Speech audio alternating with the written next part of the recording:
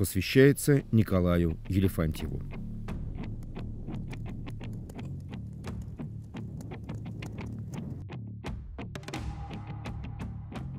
Девять лет назад, в начале марта, над льдом пролива Малое море озера Байкал раскрылся алым цветком тормозной парашют гоночного автомобиля. Так был установлен первый в истории отечественного автоспорта официальный рекорд скорости на льду. С тех пор максимальные скорости на Байкале перевалили отметку в 300 км в час, а число установленных рекордов за 40. Рекордная ледовая дорожка стала еще испытательным полигоном для автомобильных инноваций. Но самое главное, появилась неповторимая традиция официальных ежегодных рекордных ледовых заездов. 2021 год отметился максимальным числом участников и разнообразием рекордных дисциплин. Как оно было прямо сейчас, из уст самих участников уникального события.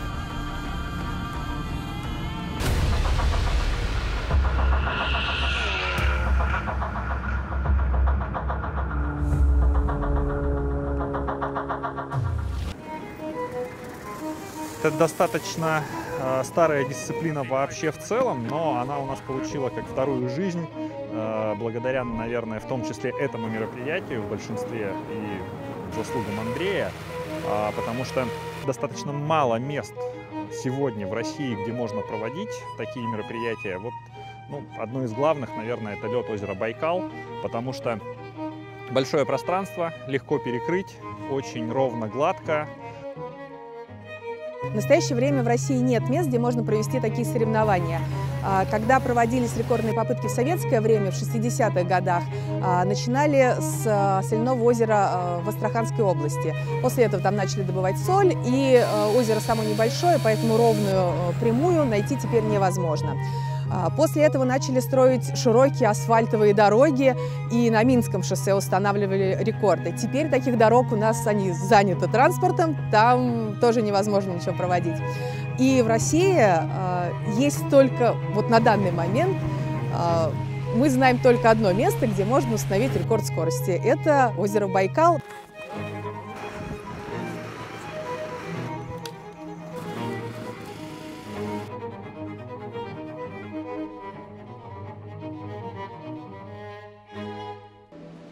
Первая рекордная попытка тут прошла в 2012 году. А, в 2014 а, мне удалось самой проехаться за рулем Jaguar XF и стать первой женщиной, которая установила рекорд скорости на льдовой поверхности.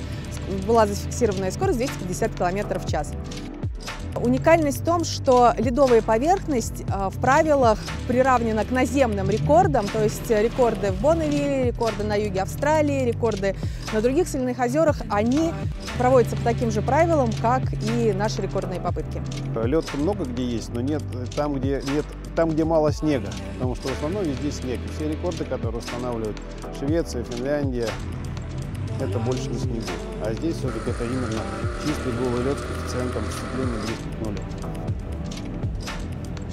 Как-то мне довелось проехать весь Байкал по льду э, с самого юга до самого севера. И я был поражен огромными чистыми ледовыми площадями. Я бывал на многих озерах в нашей стране, многих водоемах, но такого чистого, прозрачного и, самое главное, гладкого льда, ну, наверное, нет нигде, за исключением, возможно, Сахалина и Амурской области на реке Уссури есть такие места. Как-то мы сидели с моим товарищем Ильей Кашиным, я ему рассказывал про это, он говорит, слушай, давай выкатим туда автомобили, погоняем. Вот, вот мысли погоняем. Я говорю, Илюх, ну знаешь, вот как- как-то просто устраивать гонки на Байкале, это, в общем, какая-то история мне не очень понятная, но на том мы и расстались.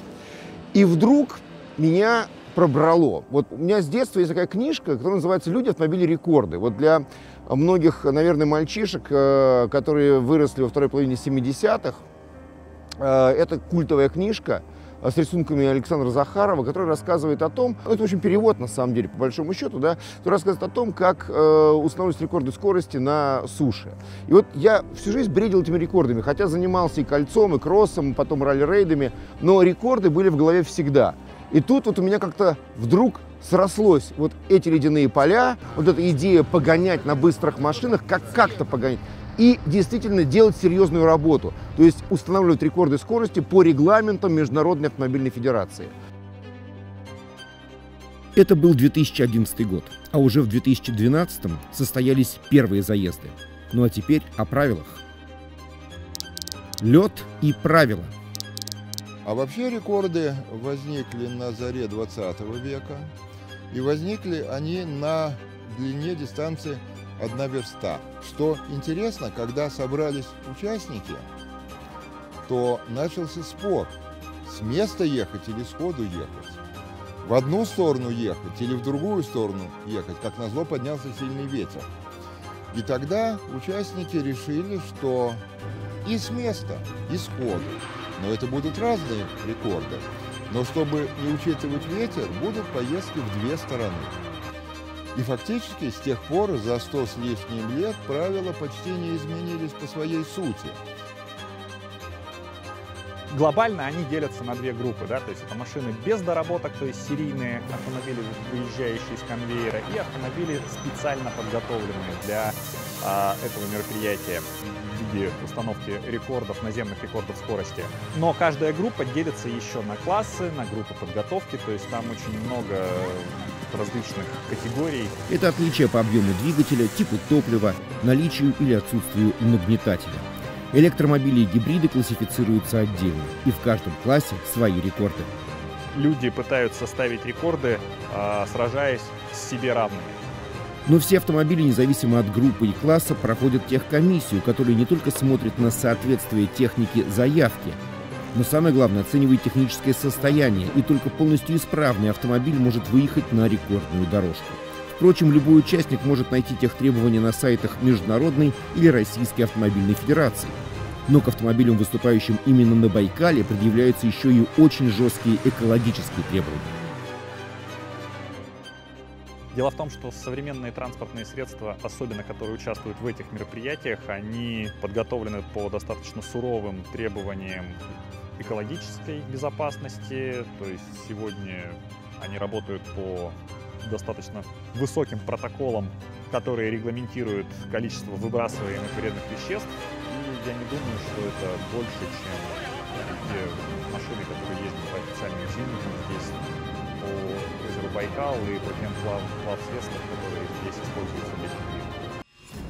После старта пилот в течение 60 минут должен пройти дистанцию в обе стороны. Таковы международные правила. А это зачастую непросто. Порыв ветра, неудачное расположение солнца, мало ли что.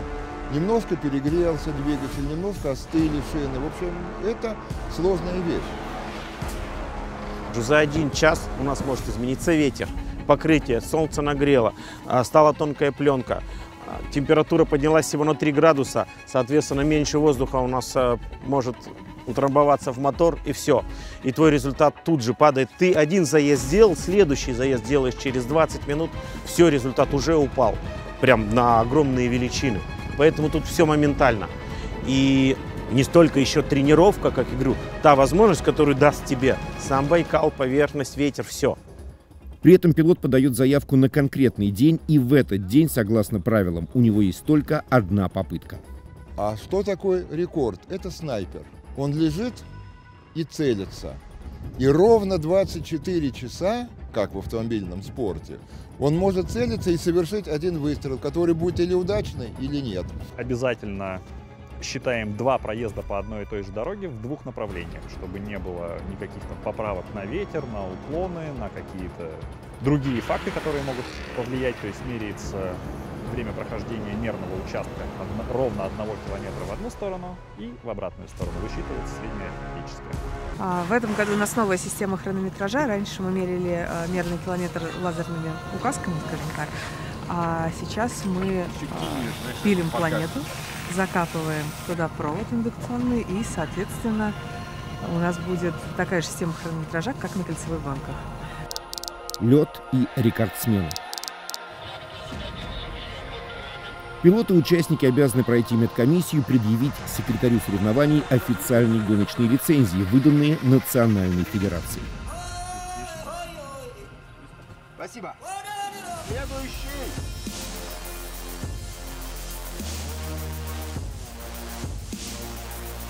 Управление автомобилем на такой скорости, больше 200 км в час, на поверхности, э, где практически нет зацепа, ты понимаешь, насколько ювелирно нужно управлять автомобилем тонко его чувствовать, потому что любое резкое движение рулем на скорости за 200 км в час, нажатие на педаль газа или тормоза может отправить автомобиль в неуправляемое скольжение, и цена ошибки здесь слишком дорога.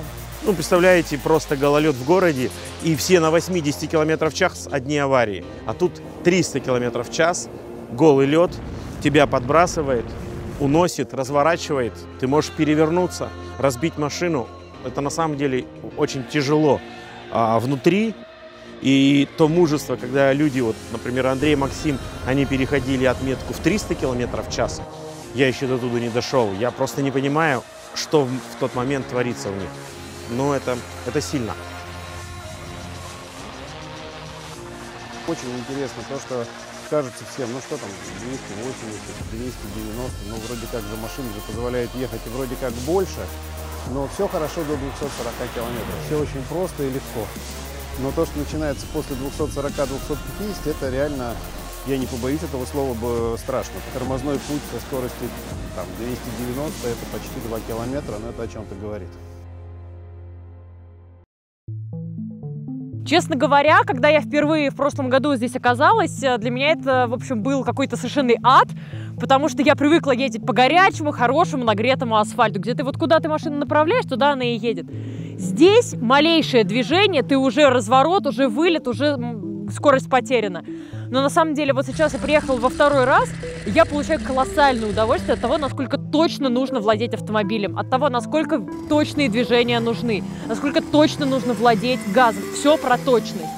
И на самом деле это такой, это очень хороший адреналин, это вот правильный адреналин в том плане, вот насколько ты хорошо прочувствуешь эту трассу, насколько хорошо ты почувствуешь природу и сможешь ли ты ее преодолеть, сможешь ли ты преодолеть те препятствия, которые она тебе поставила лед и трасса.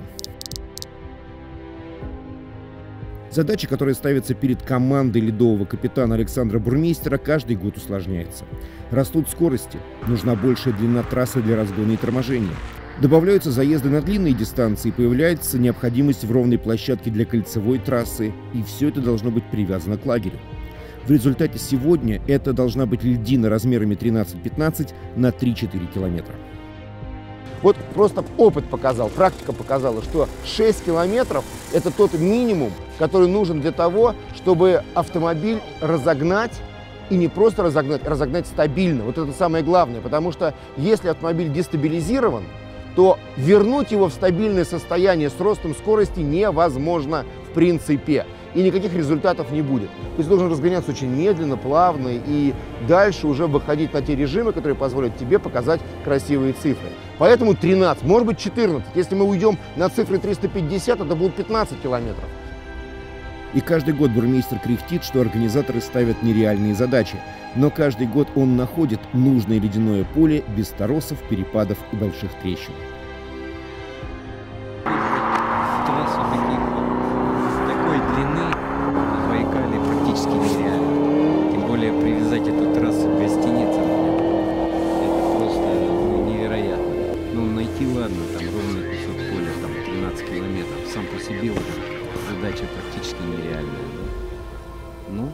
Счет того, что вот, э, мы знаем лед и как бы следим, как он застывает и смотрим.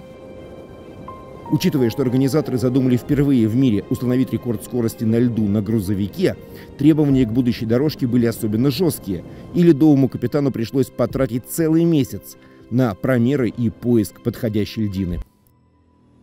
Тяжелые машины идут даже по 80-сантиметровому льду, под ней лед прогибается. И бежит впереди машины, и все равно вот это гидроудар, такая волна бежит. И вот, а поскольку жесткость, ребра жесткости разные, где-то лед там, допустим, метр десять, а здесь 80, то есть э, жесткость разная. Она лопается, и прямо когда машина идет тяжелая, ты видишь, что впереди бегут такие белые прямо жгуты под этой, под тяжелой машиной. Здесь метр пять. Это будут, считай, ходить, танки могут ходить. Танки могут ездить, тут ничего не будет, не прогибаться, ничего. Еще пойдем. Еще одна проблема выбора льдины – ее стабильность. Лед на Байкале очень подвижен, почти ежедневно случаются пусть и незаметные человеку, но землетрясения до 2000 в год, между прочим. А нам надо, чтобы наше поле длиной 15 километров прожило хотя бы две недели. Льдина выбрана и начинается подготовка трассы. Ее разметка и очистка от снега и явных неровностей. В принципе, основные требования к трассе просты.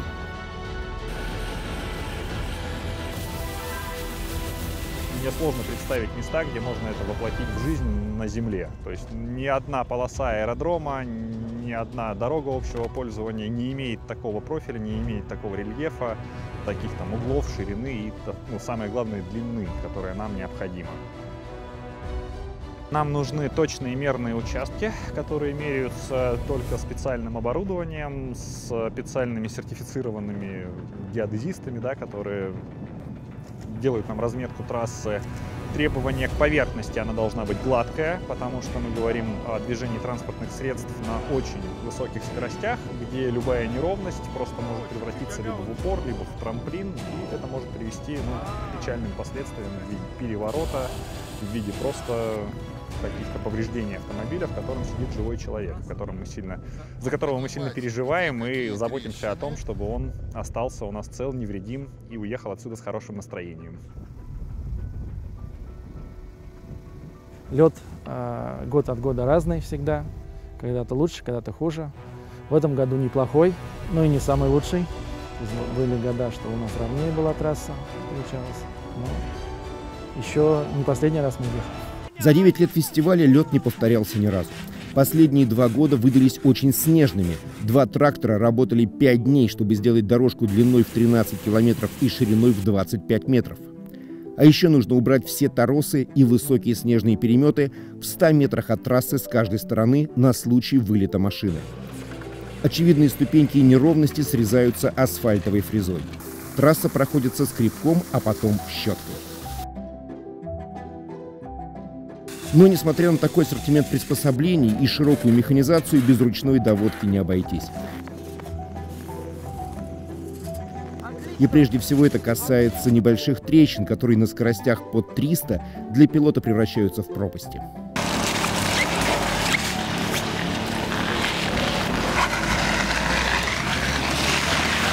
Вот если неправильно тут сделать, то может быть как раз наоборот все. То есть если какой-то будет бугор, а ты его зальешь, то сейчас лопату привезет, будем сравнивать ровненько. А если какой-то бугор будет торчать, то в принципе удар еще хуже будет, чем. Но вот когда вот ровненько все залито, видишь, ты даже не заметишь, как машина здесь проходит. Для того, чтобы разогнаться, надо иметь некоторую дистанцию. Чтобы затормозить, тоже надо иметь некоторую дистанцию. Лед очень скользкий. А при этом для того, чтобы был и надежный разгон, и хорошее торможение, вот опыт показал, 10 километров мало. Работаем вот на дистанциях чуть больше 10. Больше 15 уже нет смысла. В этом году 13 148 метров от самого края до противоположного края длинной дистанции и ровненько в середине стоит километр, который выставлен с точностью до нескольких миллиметров. И вот на нем с точностью до одной тысячной секунды, только подумайте, какие величины тонкие, э, выявляются автомобили и пилоты, которые могут проехать быстрее всех. А параллельно с подготовкой трассы идет строительство лагеря. Ведь пилотам, инженерам, механикам, судьям, журналистам нужны кровь, тепло, электричество и горячий кофе.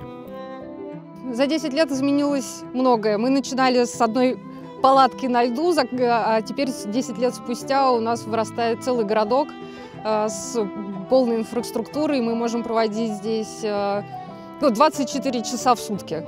У нас есть тепло, у нас есть еда, у нас есть электричество, а, у нас есть э, активности на площадке, у нас есть гости, к нам приезжают партнеры, к нам приезжают представители э, прессы. Мы очень рады всем гостям и стараемся сделать э, их пребывание на льду максимально комфортным, интересным и незабываемым. Стоит помнить о принципиальном отличии этих соревнований от тех, что проходят на подготовленных автодромах. Там уже все стоит. Здесь каждый год приходится все строить с нуля, Ведь уже через два месяца после финиша трасса и площадка лагеря превратятся в воду. При этом, где будет находиться трасса и лагерь в будущем году, разумеется, ведает только Всевышний. Поэтому мы не можем, например, как в обычных мероприятиях, имея площадку, сделать заранее расстановку, расписать тайминг передвижения гостей, групп, съемочных групп. Все это делается здесь и сейчас буквально за неделю до э, старта заездов. Ну а так, в принципе, построить лагерь на льдине очень просто. Нужно всего лишь привезти фуру мебели из Москвы, э, привезти юрты из Улан-Удэ, это 700 километров от места проведения заездов, потратить на это неделю, найти волонтеров э, в ближайшем поселке и провести здесь 24 часа на 7, чтобы потом у нас появилось то, что у нас есть э, сегодня. В принципе, команда э, фестиваля «Дни скорости на льду» готова к строительству лагеря на Луне. После того, как все готово, представитель Российской автомобильной федерации, полномочного члена Международной автомобильной федерации, принимает трассу. Просто так любой человек не может выехать, проехать по льду и сказать, я вот установил рекорд. То есть он может это рассказать, но только друзьям. А, чтобы а, рекордная попытка была признана официальной и был зафиксирован официальный рекорд Российской автомобильной федерации либо Международной автомобильной федерации, необходимо пригласить спортивных комиссаров. Они должны проверить трассу, зафиксировать, выдать лицензию на трассу. И вот только тогда твои достижения войдут в историю автоспорта. Провели проверку трассы, все соответствует правилам поведения и требованиям безопасности, предъявляемым Российской автомобильной федерацией. Попытки установления наземных рекордов на льду озера Байкал можно Спасибо, коллеги. Со своей стороны к попыткам установления э, рекордов готовы. И вот теперь огромную работу по превращению Байкальской льдины в сертифицированную гоночную трассу можно считать завершенной. Джентльмены, заводите моторы. Давай, ствол готов. Лед и тренировки. Начинаются официальные тренировки. Они длятся три дня. К сожалению, даже выдающиеся результаты подобных заездов не могут стать официальными рекордами, но они дают много информации пилотам и инженерам для подготовки к рекордным попыткам. Главный и, пожалуй, единственный инструмент регулировок для стандартных серийных автомобилей группы «Б» – это давление в шинах. Больше, согласно правилам, здесь нельзя менять ничего. Самое главное, в чем наш эксперимент, это с давлением э, в шинах, чтобы поймать наилучшее э, зацеп с дорогой, но при этом не создать дополнительного сопротивления качения, чтобы не потерять скорости. То есть нужно поймать золотую середину. В одном из тренировочных заездов с шинами у Максима вышла незадача. По невыясненным причинам на скорости в 281 км в час разбортировалось заднее правое колесо. В створ хронометража Макс входил уже задним бампером вперед. Слава богу, обошлось без последствий, но испугаться успели все. Вместе с тем результаты Ягуара в принципе обнадеживали. GPS показывал 299 км в час. Так вот мы собираем все осколки, чтобы на льду Байкала не осталось даже вот такого кусочка пластмассы. Потому что когда лед растает, все это окажется в воде. Это маленький комментарий к вопросам экологов относительно нашего поведения на льду. Ребят, даже вот такого кусочка мусора мы не оставляем.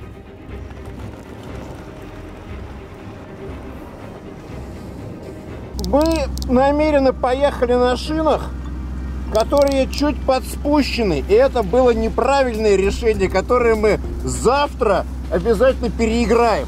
Значит, цифры сейчас 290, но это явно не предел, потому что если мы подкачаем шины несколько километров в час, то прибавит обязательно.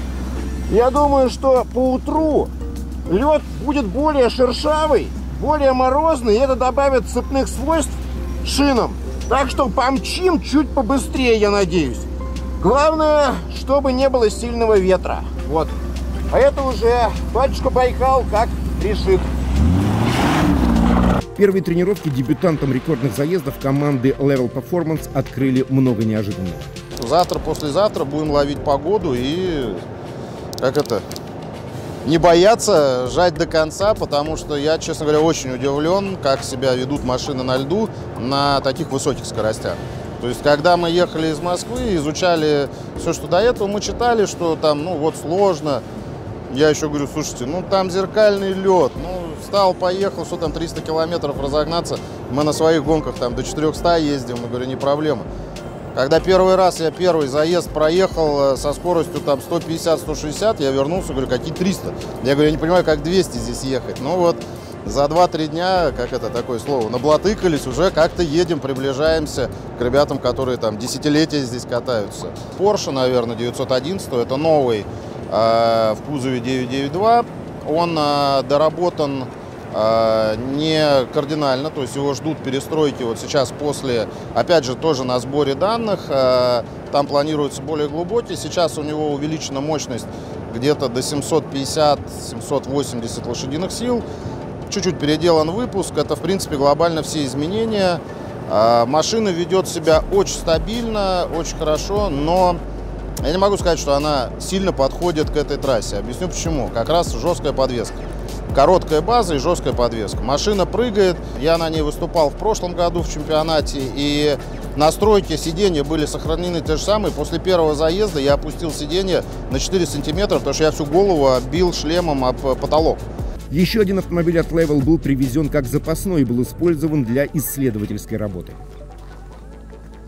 От заводской Lamborghini там осталось очень мало чего. Это реально боевой корч с каркасом безопасности, со всеми системами, пожаротушениями, парашютами, которые на самом деле здесь тоже вот для нас было удивлением. Мы их специально поставили, ну, если что, выравнивать машину еще. И когда поняли, какие здесь бывают ветра, что выброшенный парашют здесь может быть исключительно зло, а не так, как в дрэге он спасает машину при внештатных ситуациях. Там стоит очень мощный мотор, он переделан э, в битурбо, нами же настроен, э, то есть мотор этот э, способен выдавать ну, на текущий момент в районе 1400-1500 сил.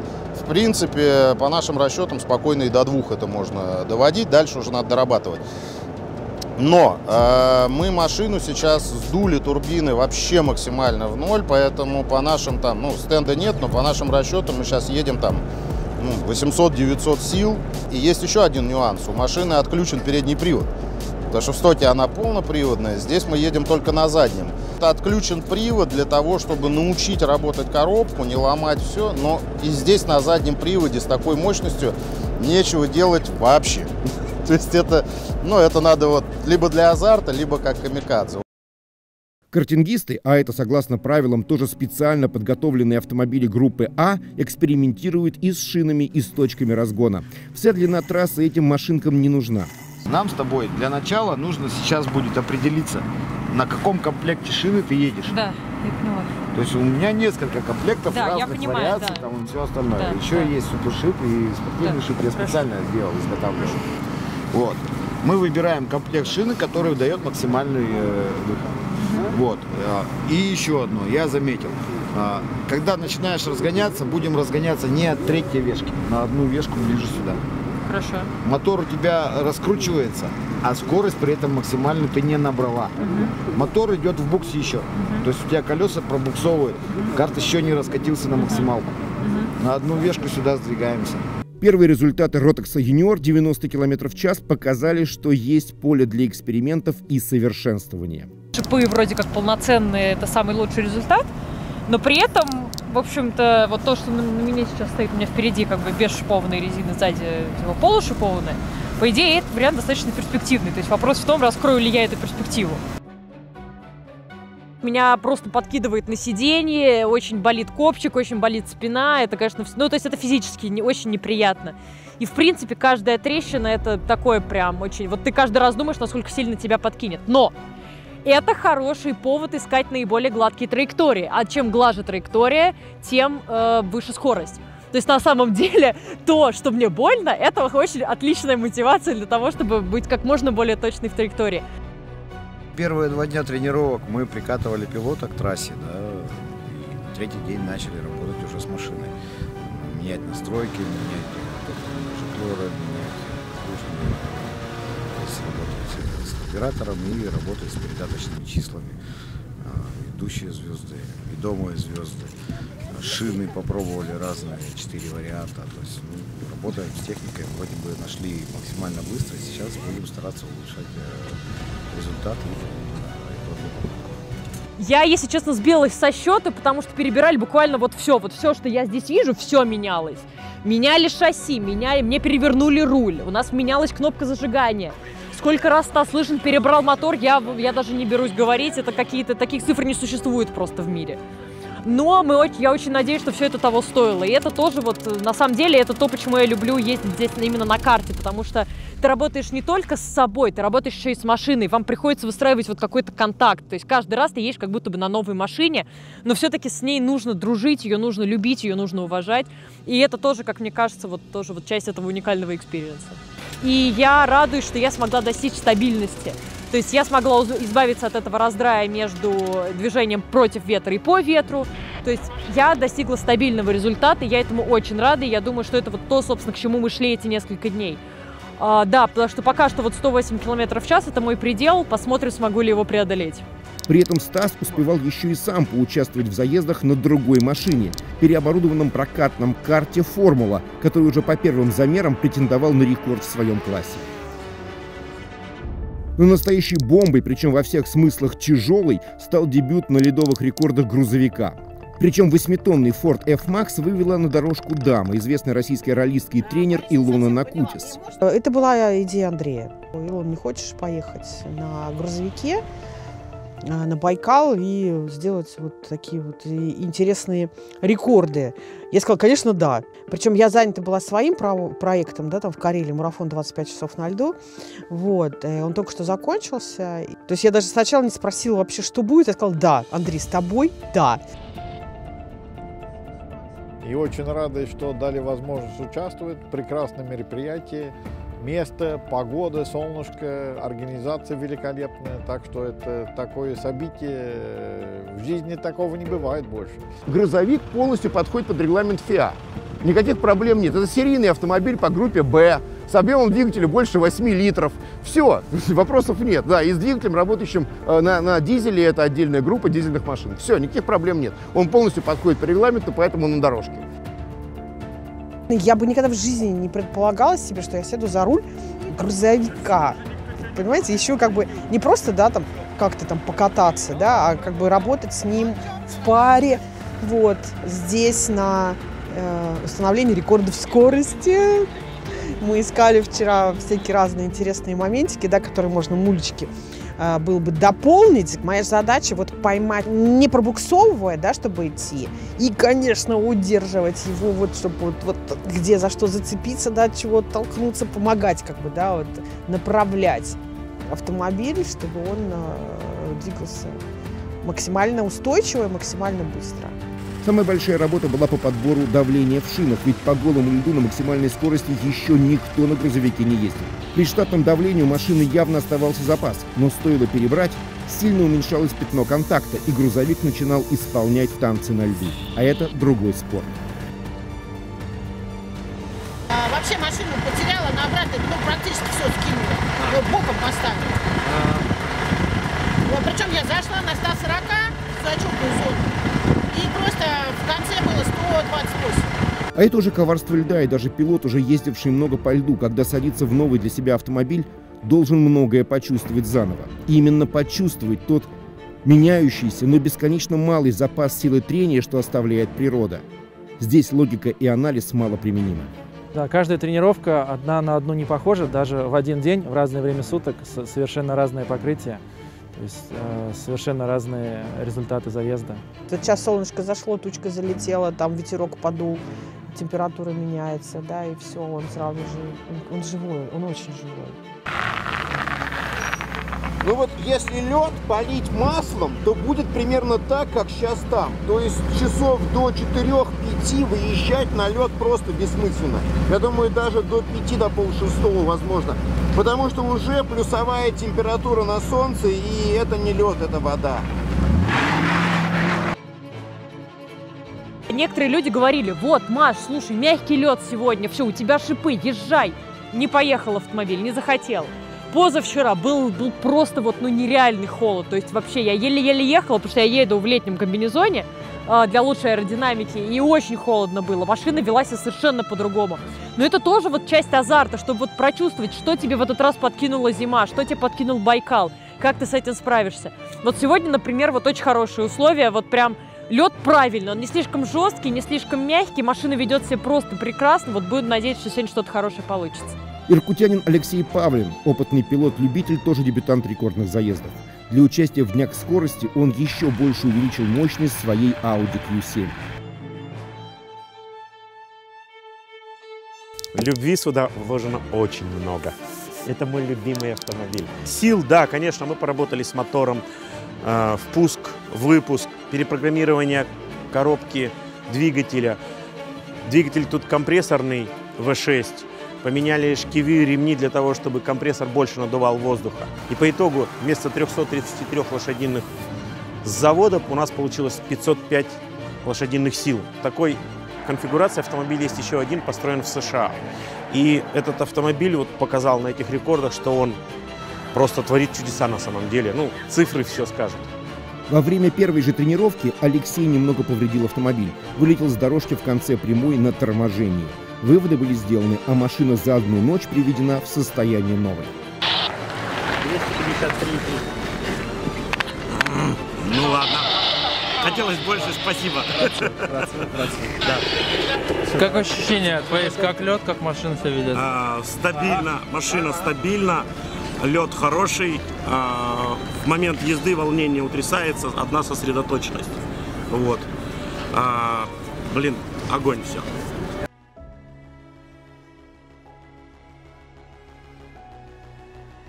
И вот с таким позитивом в душе участники подошли к дню X, дню заявленных рекордных попыток, к дню триумфа или крушения надежд.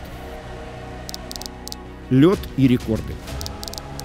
Девять лет проведения рекордных заездов дали бесценный опыт понимания, как меняется состояние льда при разной погоде и в разное время суток. Самый шершавый и цепкий он перед рассветом, а значит ранним утром самые высокие скорости. Так что день официальных рекордных попыток начинается ночью. Сегодня какие-то рекорды будут устанавливать на льду Байкала.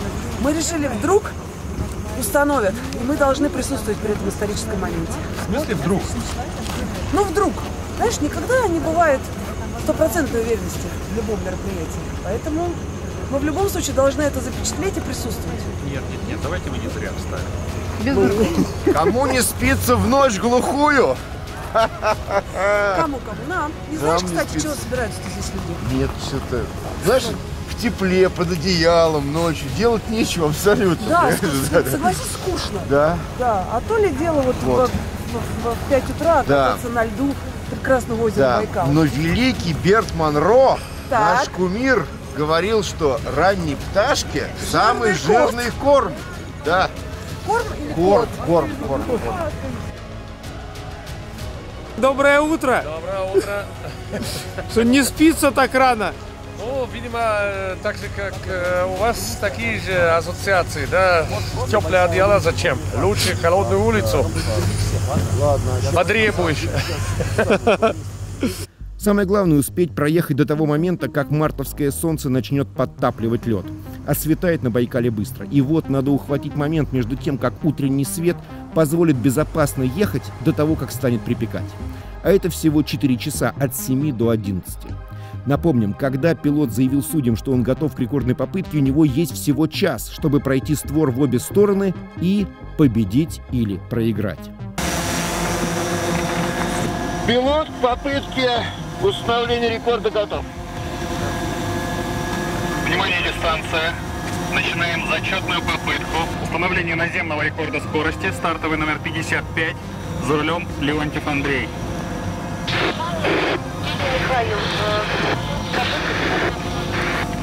Трасса готова. 55 удачи. Спасибо.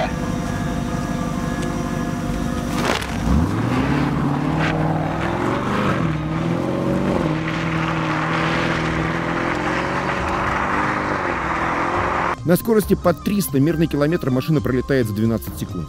Всю трассу в обе стороны с разгоном и торможением все 26 километров за 7-8 минут. Из кокпита они кажутся вечностью. Время становится пластилиновым, а ледовая дорожка оборачивается тонкой натянутой струной, по которой нужно пройти над пропастью, не потеряв равновесие. Попытка установления наземного рекорда состоялась.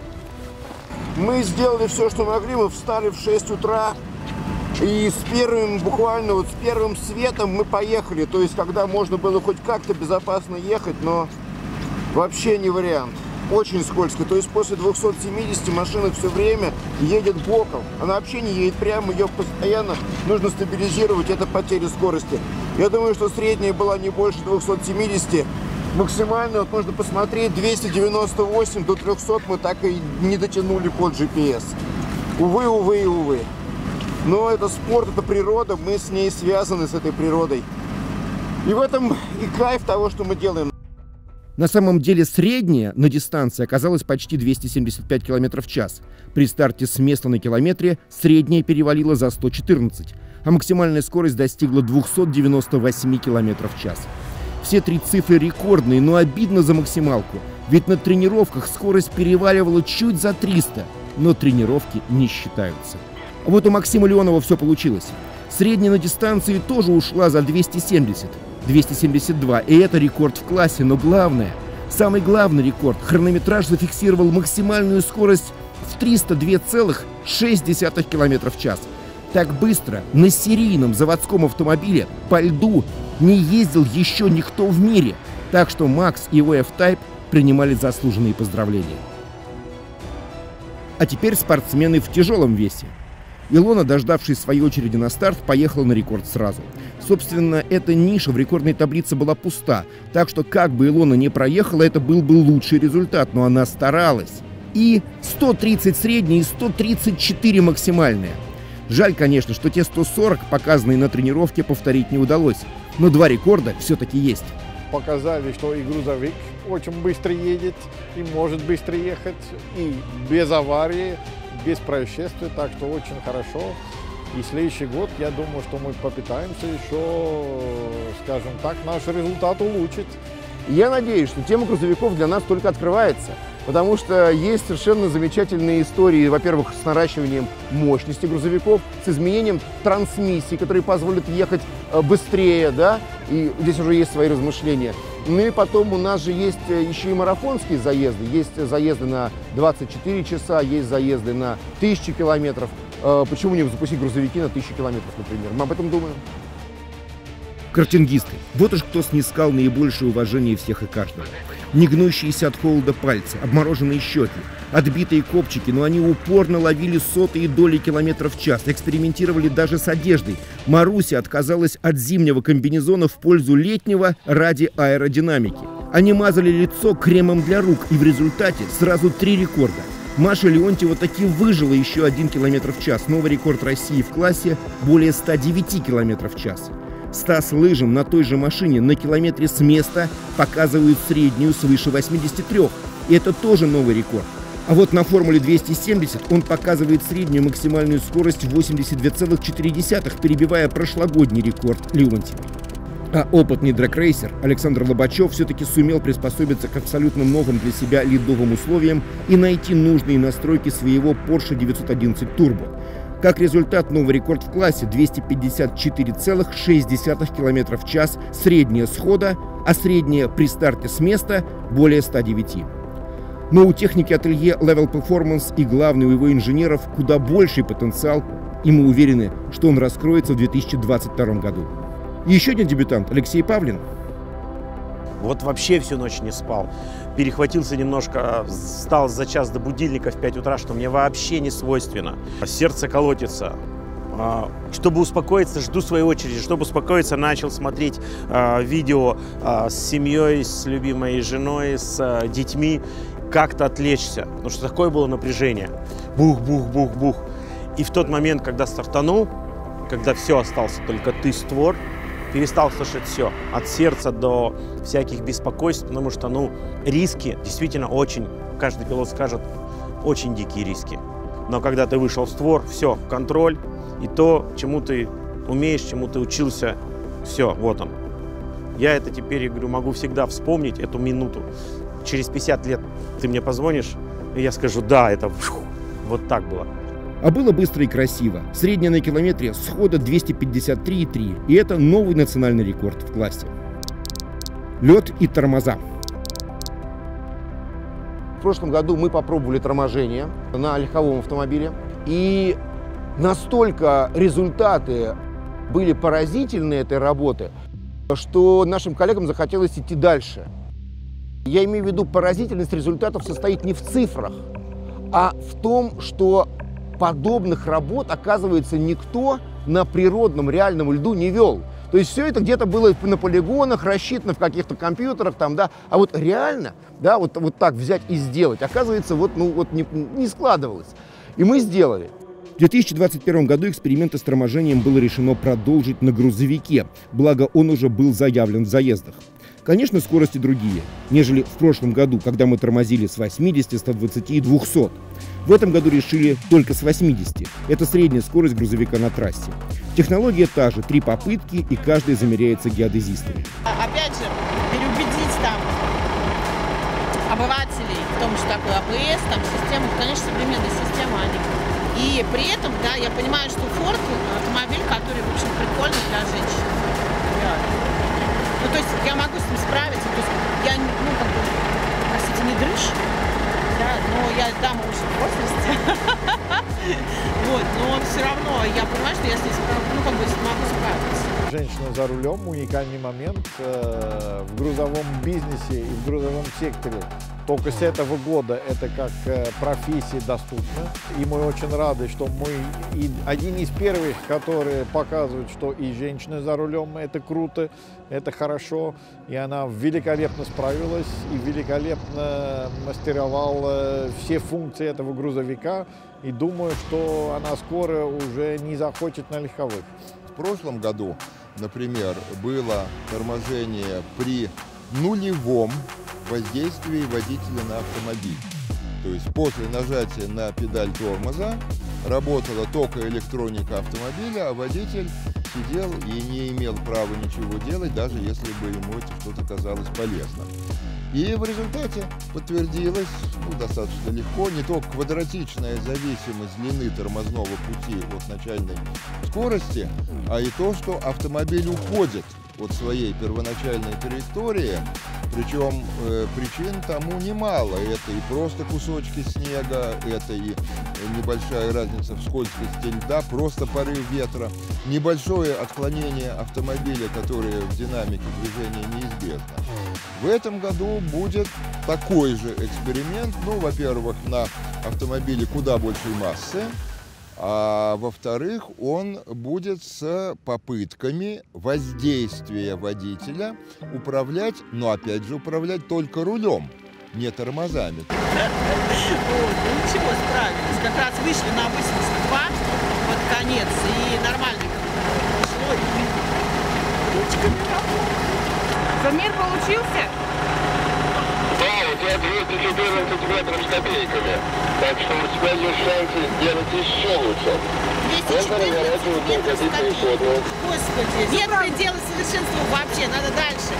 Пробовать, пробовать. Сейчас побольше замах сделаю на руле. Все, погнали?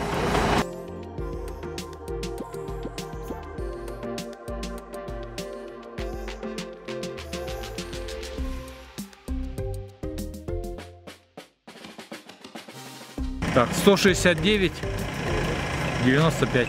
Этот результат ко всеобщему удовлетворению был признан лучшим. Лед и смысл. Конечно, подобные заезды делаются не только для демонстрации возможностей техники и шин. Здесь есть невидимая, но большая обратная связь. Вообще ледовые рекорды клондайк для инженеров автомобильной отрасли, и они пользуются теми условиями, которые невозможно сымитировать ни на одном полигоне. Но когда 10 лет назад все придумывалось, конечно, так далеко никто не заглядывал.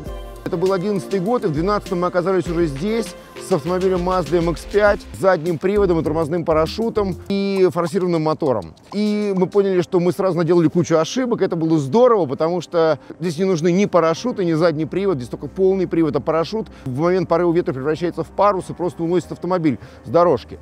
Поэтому первый опыт был отрицательный, а дальше уже в 2013 году был Nissan GTR и уже 294 и 8 десятых километров в час, которые показал Рома Русинов, и все, и дальше, и вот пошло, пошло, пошло. И вот сегодня у нас здесь уже 14 машин, и это правда здорово. И это не только люди, которые бредят скоростью и, ну, скажем так, хотят себя показать, хотят э, подтвердить свои какие-то технические изыскания там, да, на практике. Вот. А это еще и люди, которые занимаются действительно серьезной инженерной работой. Это крупные компании, которые используют тот опыт, который здесь рождается во время рекордных заездов на их автомобилях, серийных автомобилях, для того, чтобы делать эти автомобили лучше. Э, Модернизировать системы электронной стабилизации, например, да, работу полного привода, работу трансмиссии. Э, Здесь просто клондайк для шинников потому что мы работаем с несколькими крупными мировыми брендами. Вот сейчас мы, у нас очень тесный, хороший контакт с Континенталем, и мы очень рады, что вот то, что здесь происходит, э, это помогает делать эти замечательные шины лучше и более пригодными для эксплуатации таких непростых российских условиях. упражнений на торможение. Очень важно понимать, насколько все наши системы работоспособны в этих условиях. И слава богу, все работает, все великолепно, все интересно. Мы приехали сюда по нескольким причинам. Во-первых, мы хотим посмотреть, как шины работают в этих экстремальных условиях и сделать выводы. Во-вторых, у нас уже есть положительный опыт тестирования наших продуктов, и мы хотим здесь продемонстрировать их преимущества и прежде всего безопасность. Именно поэтому мы продолжаем эксперименты с торможением, но не стоит забывать об управляемости и уверенности. Так что поэтому наши шины стоят на автомобилях для 24-часового рекордного заезда. То есть речь идет о шинах для легковых автомобилей и для грузовиков. То, как едет грузовик с максимальной скоростью и стремительно тормозит, с одной стороны завораживает, а с другой видно, насколько этот тандем шины и автомобиля эффективно работает. Это прекрасная площадка для демонстрации и для исследований. У завода-производителя любые, да, там, что автомобили, что покрышек, что э, смазочных материалов, э, до всего, чего связано с автомобилями, конечно, это пр- прекрасный полигон и э, прекрасные сумасшедшие люди, которые готовы это исполнить. Э, при этом они не просто сумасшедшие, они, в общем-то, профессионалы знающие, разбирающиеся в этом. Поэтому э, использовать их опыт плюс те э, нагрузки, да, которые можно было бы дать в таких условиях ледового покрытия, там, погодных условий всего остального, на таком длительном, а, продолжительном да, периоде времени в различных да, вариациях, конечно, это очень круто. То есть, э, безусловно, этим нужно пользоваться. И это не просто теоре- теоретики, да, сидящие э, в компьютерах и забивающие определенные параметры. Вот вам реальные живые природные условия. Ты их никогда не просчитаешь. А еще для команд это прекрасная возможность подготовиться к летнему гоночному сезону. Мы никогда не ездили на льду, у нас основные дисциплины мы едем в драг-рейсинге и в дрифте. Это сильно отличается, и нам было очень интересно попробовать машины в этих условиях, потому что, ну и холод, много узнавали, много интересовались. А самая главная цель, то что здесь есть возможность перед сезоном летним, который проходит в России, а, тестировать машины в условиях льда, не поломать все трансмиссии, э, привода, потому что очень много надо настраивать машины. То есть вот если мы берем Lamborghini, э, это долгожданный проект, мы его строим уже третий год, различные меняем конфигурации. Сейчас очень важно было оттестировать именно работу коробок, работу э, всех систем, настройки. И данное мероприятие позволяет это сделать максимально интересно, то есть собрать огромное количество данных, как машина себя ведет, в каких режимах, потому что ну, позволяет пробуксовывать. То есть лед дает то, что никогда не даст асфальт. Либо асфальт это сразу все разломает, а это очень дорого и, ну, и не нужно. Вот у нас есть и стенды свои, и все, где мы катаем. Нельзя там это сделать. А здесь это позволяет, и у нас вот э, настройщик, инженеры просто в восторге в таком, то что они говорят, все, ничего больше не хотим. Говорят, информацию получили, э, вчера ужинать не пошли, изучали на компьютере логи, э, все свои вот эти настройки. По поводу мощности мы ну, прекрасно теперь понимаем, что здесь нужен исключительный баланс. То есть надо выбирать и базу машины, чтобы быстро ехать, длину базы, и определенную мощность. Э, Очень важна подвеска, работа с ней, потому что где-то машина либо прыгает, либо она наоборот очень жестко едет. Э, Это я сейчас на примере машин расскажу. И э, не позволяет достигать того, что надо.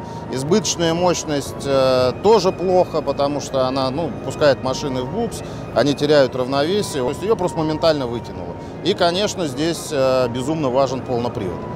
Кроме того, ледовые рекорды могут дать много методической информации для подготовки водителей, как любителей, так и особенно профессионалов. Но Если ты научился хорошо ездить на льду, э, ты поедешь где угодно и в каких угодно условиях. Здесь рождаются те навыки, тот потенциал водительский, который может быть использован потом в любой экстремальной ситуации, причем будет использована только малая часть его, потому что таких условий, таких сложных условий больше не дает ни одно другое покрытие. Ну, разве что мокрый базальт, но мокрый базальт по коэффициенту сцепления сопоставим со льдом. Все. Понимаете, мы ездим по покрытию, которое в 10 раз имеет меньшие сцепные свойства, чем асфальт по- под проливным дождем. Лед и круглые сутки. Новым элементом спортивной программы, большим вызовом, стал смелый эксперимент. Первая в мире попытка рекордного заезда на 24 часа по льду. До этого самые длинные заезды были только на 1000 километров. Мы возлагаем большие надежды на этот заезд. В 2020 мы были партнером марафона на 1000 километров на льду, и в этом году будут 24 часа. Это еще круче. И мы не дождемся того, чтобы увидеть, как шины будут работать в этих экстремальных условиях, которые много жестче, чем эксплуатация на обычной дороге. Так что если шины себя прекрасно покажут здесь, то уж для обычного покупателя они сработают в любой ситуации и с большим запасом. На специально подготовленной трассе будет попытка установки рекорда удержания средней скорости в течение 24 часов на трех автомобилях командой из 9 водителей. Составлено расписание смен водителей. Делается оно с тем учетом, чтобы каждый водитель проехал одинаковое количество времени на каждом автомобиле. Каждый пилот в итоге проведет за рулем 8 часов, рабочий день. 24 часа – это всегда сложная гонка в любой дисциплине, какая бы она ни была, особенно в технической. Это, прежде всего, техническая подготовка автомобиля. Надеемся, что Porsche нас не подведет. Пилоты должны быть максимально сосредоточены, и иногда 5 секунд, которые можно выиграть быстро на трассе, это может обернуться вылетом куда-то, еще что-то, либо большим расходом топлива, где ты будешь терять больше времени. Поэтому нужно ехать максимально сосредоточенно, максимально, возможно, быстро, безопасно. Вроде как безопасно и быстро это слова взаимозаменяющие, вернее, взаимоисключающие, но тем не менее это должно быть. Стартовали как в знаменитой гонке в Лимане в 4 часа дня, чтобы финишировать ровно через сутки. как в забеге по легкой атлетике. На 100 метров можно выложиться на полную, бежать марафон 42 километра, ну, соответственно, сберегая силы, а есть где-то золотая середина, 800 метров. Тут все то же самое. Нужно понять, что это не соревнование между этими водителями или командами или экипажами.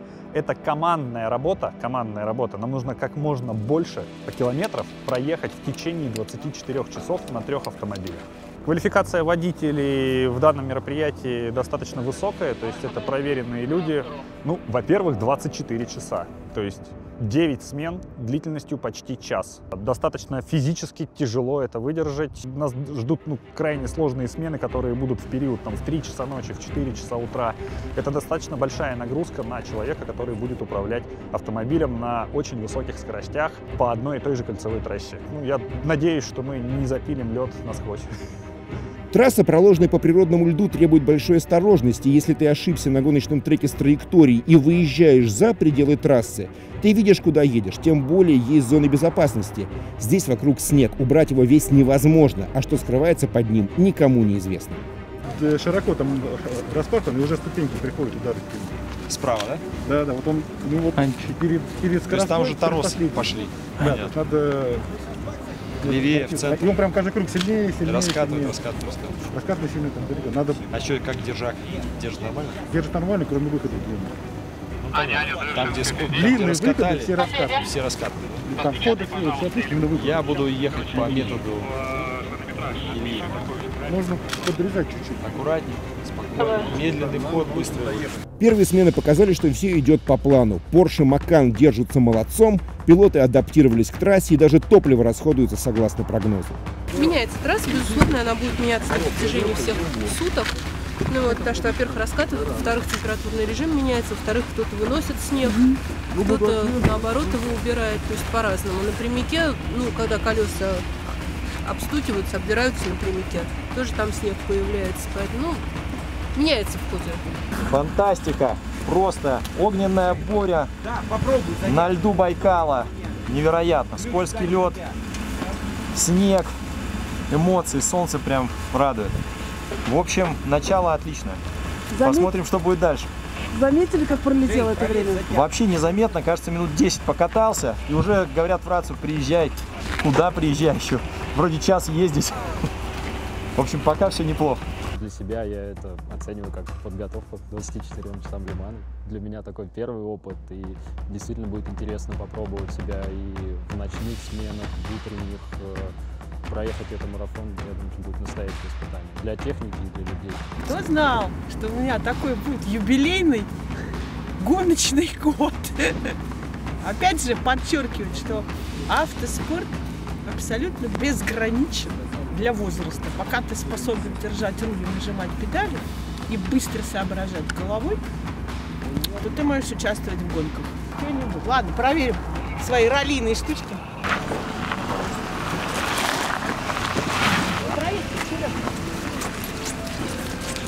Вот эта третья машина, это моя, да? Какой ты большой! Значит, можно не работать.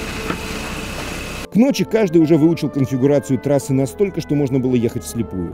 Да и лед стал более шершавым, подморозило, так что в темноте парадокс, но скорости несколько выросли. Вот сейчас попроще будет ехать. Вот, и ночью держак появился, то есть ночью стало как бы цепляться.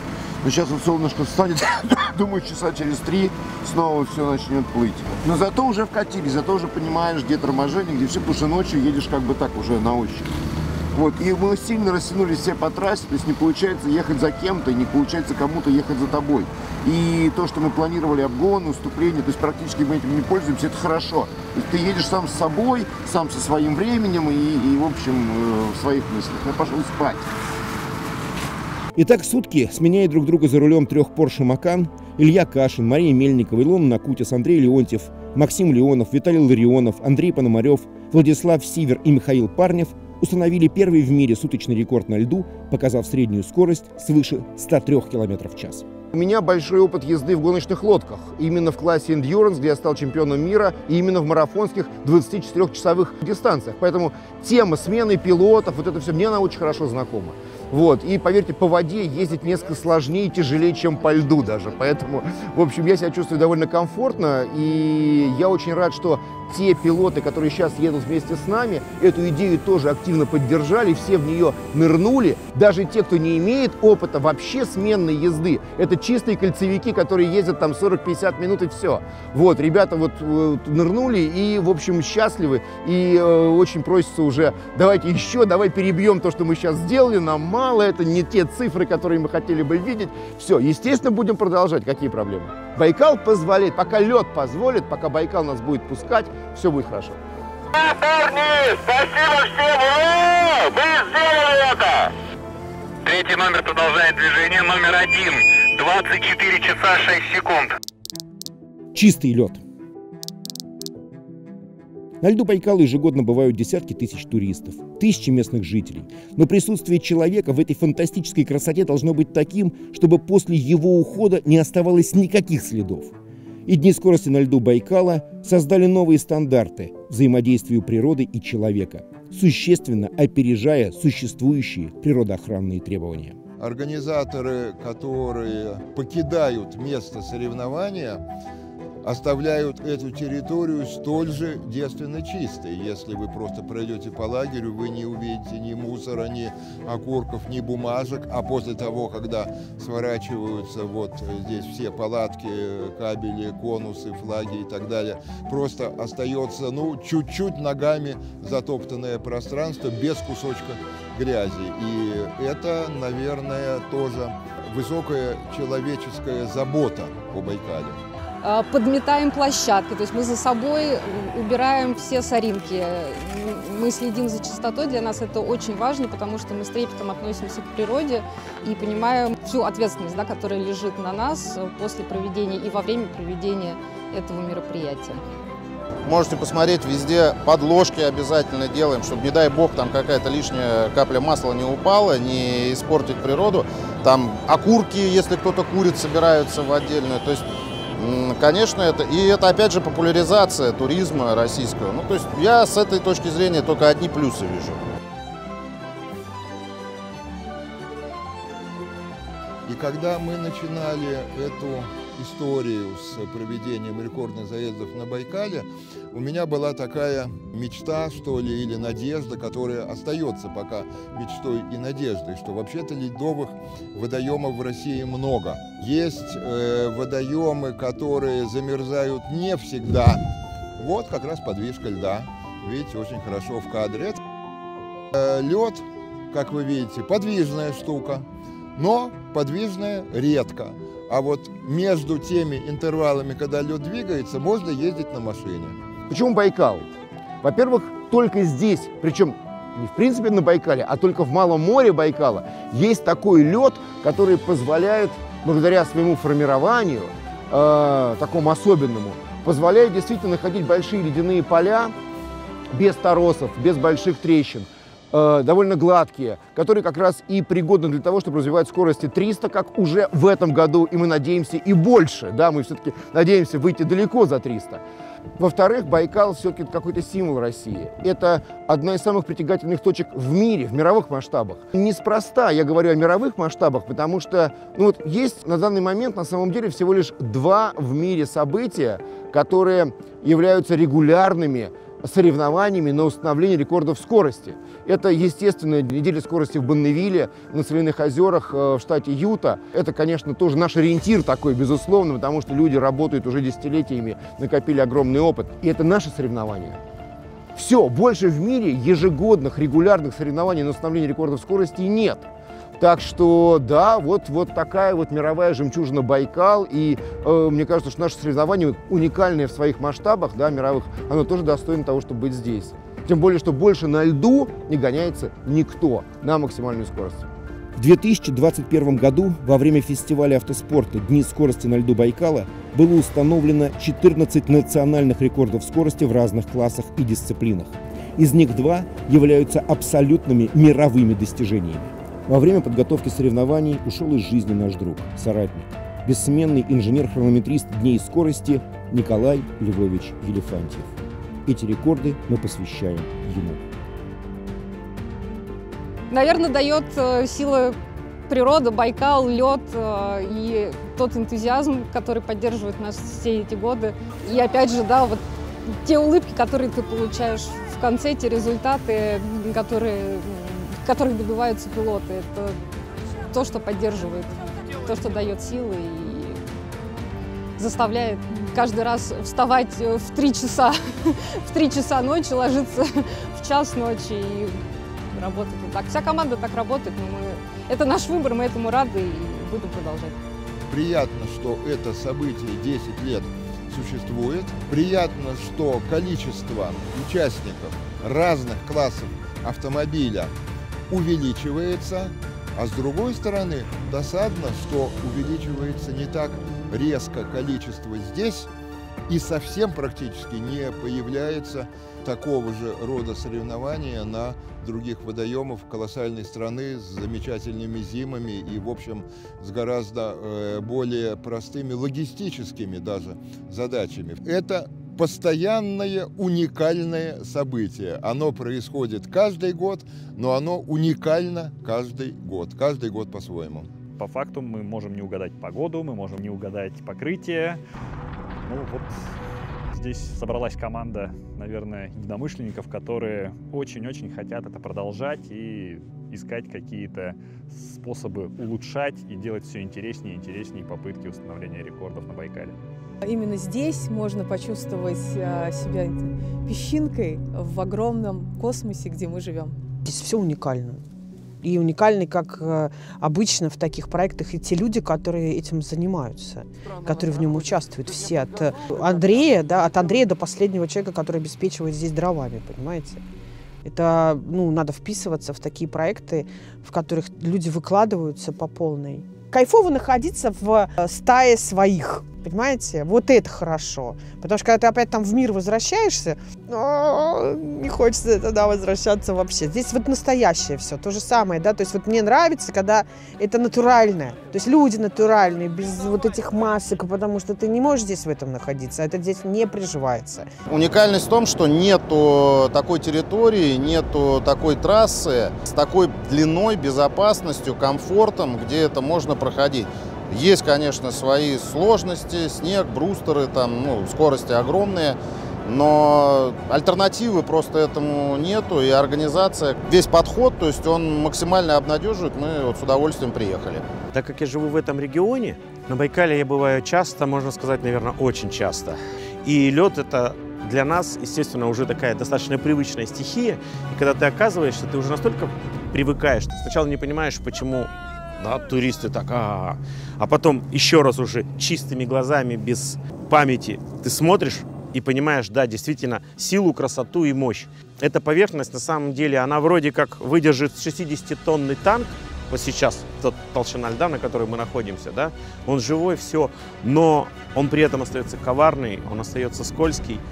Нужно с уважением очень с большим уважением относиться и понимать это для того, чтобы ну, твой результат и твое управление было безопасным. Как с уважением к мощности, к покрытию, так и к месту, данному месту силы на Байкале.